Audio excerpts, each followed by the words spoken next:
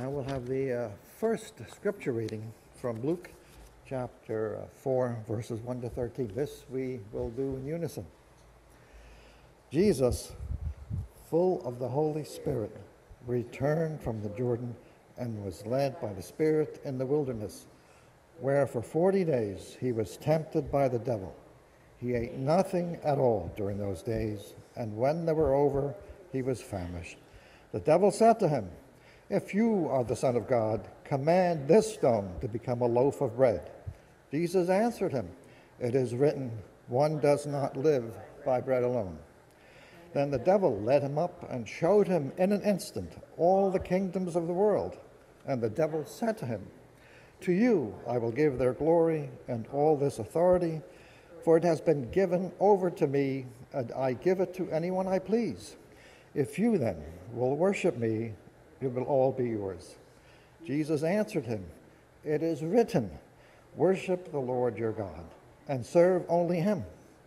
Then the devil took him to Jerusalem and placed him on the pinnacle of the temple, saying to him, If you are the Son of God, throw yourself down from here. For it is written, he will command his angels concerning you to protect you, and on their hands they will bear you up, so that you will not dash your foot against the stone. Jesus answered him, It is said, Do not put the Lord your God to the test.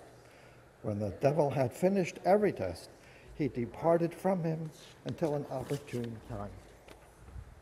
So, good morning. Zachary, your grandma outed you. She told me you were going to be here. But you can, you can hang out where you are. And my first question is what is your favorite food?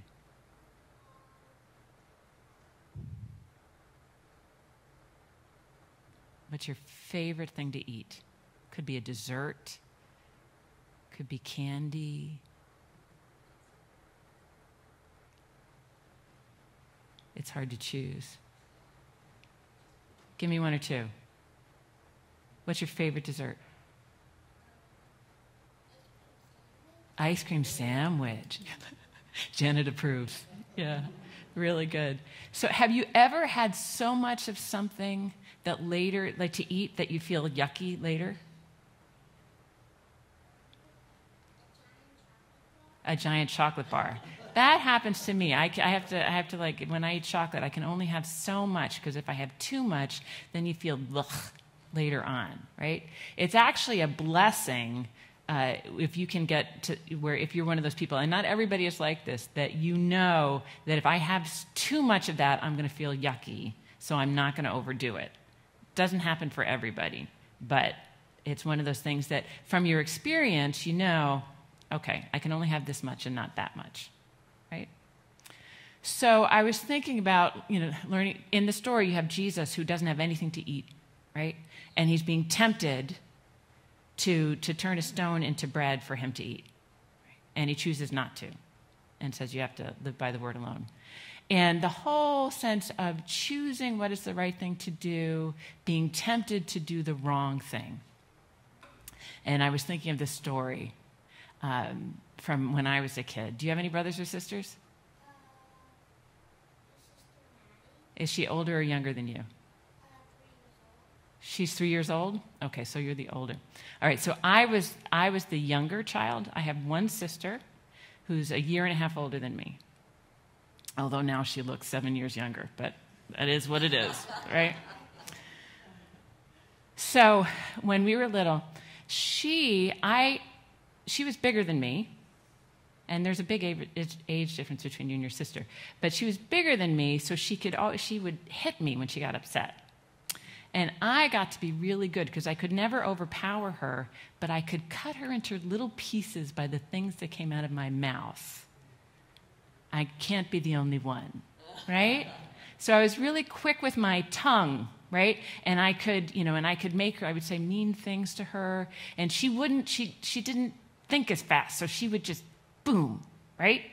Or she'd say, that you're just stupid. And I'm like, oh, is stupid all you can come up with? Only stupid people say stupid. You know, things like that, right? So one time, one time, and I can still remember it, I set her up to get in trouble. I'm sure your younger sister will do this to you at some point. But I, I set younger children, you know, right? I set her up to get in trouble. I'm standing in my bedroom and I knew I said something that was going to upset her. I knew it. And I also knew that she was going to pick up a pillow and throw it, throw it at me, right? So I stood right by a lamp, right? and what do you know? She picked up the pillow, threw it at me, knocked over the lamp, and what do I do? And I go out, and there's my dad. He's vacuuming the, the living room. And I said, Heather threw a pillow and it knocked over the lamp. And he wasn't having it and said, Heather, go to your room. And my sister was so upset because she didn't get to say her side of the story, right? And dad, but she, and I don't want to hear it, go to your room. You never listen to me. And for the first time, I heard my dad lose it. You don't yell at me. Get to your room now. And I heard my, and I'm all in my room, and I hear my sister cry and run to her room, and I'm standing there going, I did this. I did this whole thing. And I never heard my dad yell. And it was like, and you know what? I felt so awful that I thought, oh, I never want to do that again.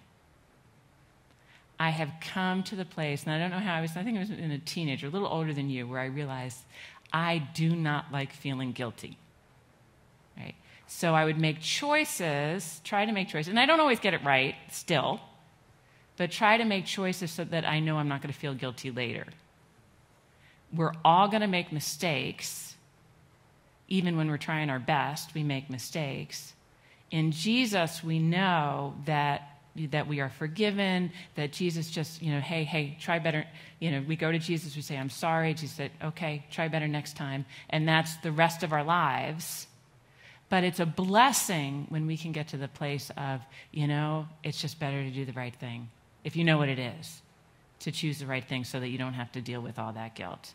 My prayer for you and for all of us is that we get to, that we live in a space where, you know, even, even, if the even if the right thing is the tough thing, I'm going to choose it because I don't want to feel guilty later. Make sense? All right. Let's fold our hands, close our eyes, bow our heads, and pray. Dear God, I pray for the, the blessing for all of us that we might make the choices that where we can live with ourselves, where we can look at ourselves in the mirror uh, straight on and be proud of ourselves. Uh, we're not you know, we're not always going to make the right decisions and we know that and we're grateful that we know in jesus that we are forgiven. But lord i pray that you'll give each of us the courage and the intelligence to make the right choices. I pray all of this in jesus name. Amen. Our second scripture lesson comes from james chapter 1 verses 12 through 16 blessed is anyone who endures temptation such a one has stood the test and will receive the crown of life that the Lord has promised to those who love him. No one, when tempted, should say, I am being tempted by God. For God cannot be tempted by evil, and he himself tempts no one. But one is tempted by one's own desire, being lured and enticed by it.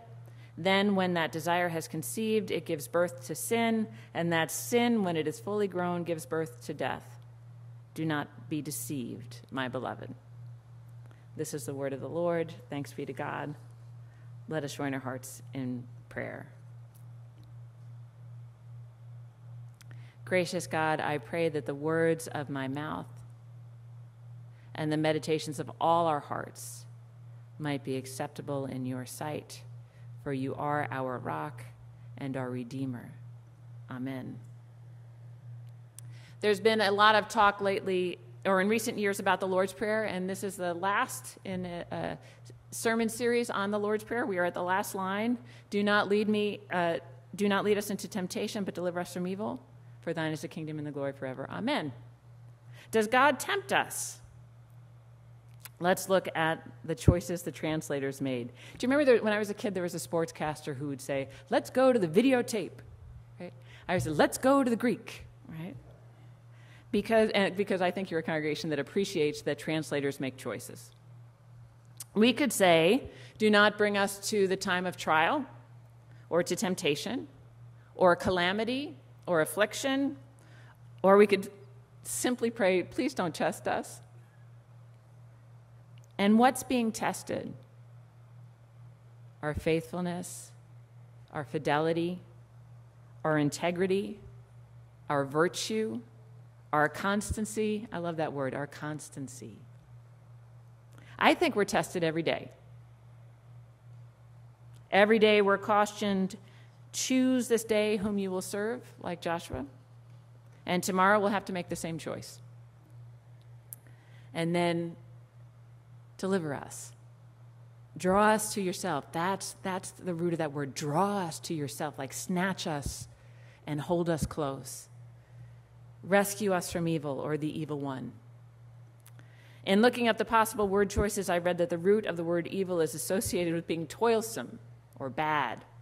And I quote, properly pain ridden, emphasizing the inevitable agonies or misery that always goes with evil. Spare us from the agony of awful choices. Can I hear an amen? And we do make them. Everybody has an Achilles heel, borrowing from Greek mythology. Story of Achilles is that his mother Thetis dipped him into the river Styx, making him invulnerable except for his heel. But Homer wrote the Iliad and portrays pride as the real, as the real culprit. That was his undoing. Classical theology boils all of our sins down to pride and selfishness. Pride says, Nobody tells me what to do. Selfishness says, I'm only going to serve me.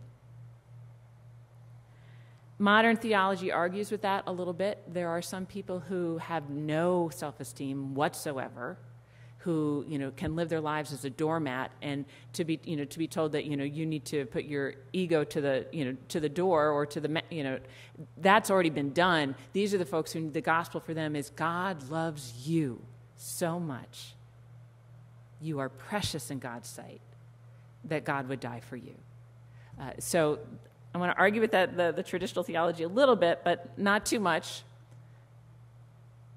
I want to go back to the idea that everybody has an Achilles heel. Everybody has something that can be their undoing that tempts you. And our temptations are different uh, depending on the person. Uh, we all have you know, different things that can be on our, our undoing. And this is a really, I don't, this, somebody said this years ago, and I'm like, yeah. Temptation isn't real unless it really tempts you. You could put a chocolate cake in the middle of the table and, and tell me not to eat it, it would go stale. I could care less. Now, put fresh peaches with some vanilla ice cream and tell me not to eat it, and I'd go, ooh, be ashamed to let that ice cream melt. Right? We all have different things. And we need to be mindful of that. And when we read the story of Jesus' temptation, we need to remind ourselves he was truly tempted. These are things that tempted him. He wasn't indifferent to them, otherwise, it would not have been temptation. Worldly power, worldly comfort, freedom from suffering. And it's actually wonderful foreshadowing of what's going to happen at the end of the story.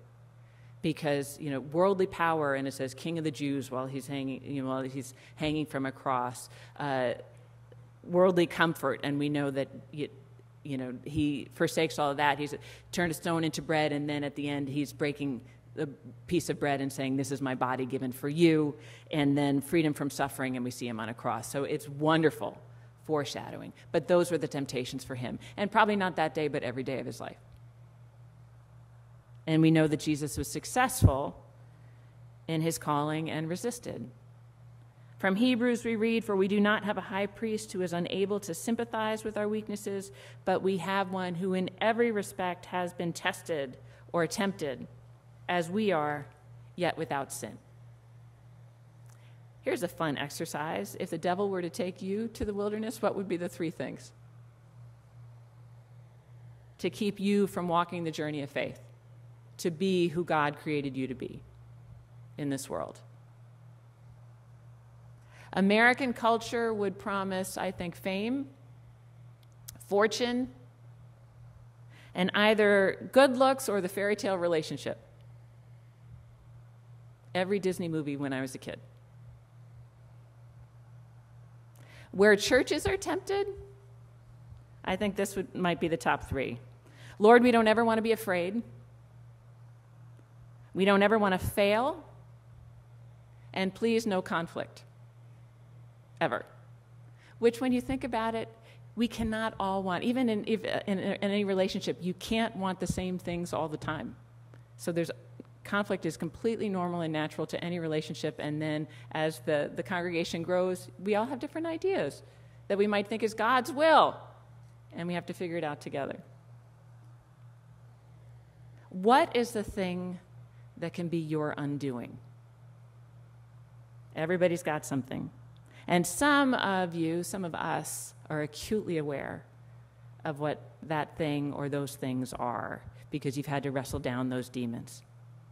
And again, I would say that that in some ways is a blessing. And as a young person, you know, as I, I look back at being a teenager and say, oh, I would never do that. And then as adult, as an adult, oh shoot, me too. Some people's sellouts to the devil are, are very obvious and self destructive. Anybody who succumbs to an, an addiction. Some are socially acceptable greed, accumulation of, of money, things, selfishness. Some are less obvious but are still soul killing. Just think about the story of the, the prodigal son and the older brother. The older brother he followed all the rules, but man, you know, his, his temptation was to be judgmental, and you're going to grace and mercy for him, for that person? After what? And have we ever thought that about anybody else? So this is one of those sermons where everybody itches a little bit. Everybody squirms in their seat. My mother always says, you know, it's always every once in a while it's good to have a good itch sermon. Right? This is one where we all get it. Where we might pray, you know, save me from myself and keep me from self-righteousness. And lead us not into temptation, but deliver us from evil, because we need it. So, does the Lord tempt us? We read in James, no. Blessed is anyone who endures temptation. God has created a world where good and evil coexist in the world and within us, and we have the potential for both. And it's good if we never forget that, because it will bring us to our knees, which is always a good place to be, because the spirit is willing but the flesh is weak. The disciples live that out in their lives, and we live that out in our lives as well. The last line is the point. It's our, it points us to humility. It's the point of this message. We all fall short of the glory of God, and so we need to pray and lead us not into temptation, but deliver us from evil. For you have the power, and I give you the glory. The line is For thine is the kingdom and the glory and the power forever, forever. Amen. We acknowledge that Jesus has the power to save. Jesus has the power to save those who are addicted where our own, it's, there's a line in Scripture, not, uh, not by might, not by power, but by your spirit. There are some things, our own, we can will it till the cows come home, but it's only the Spirit of God that can take away that, that desperate need for something that we do not need. There are folks here who can testify.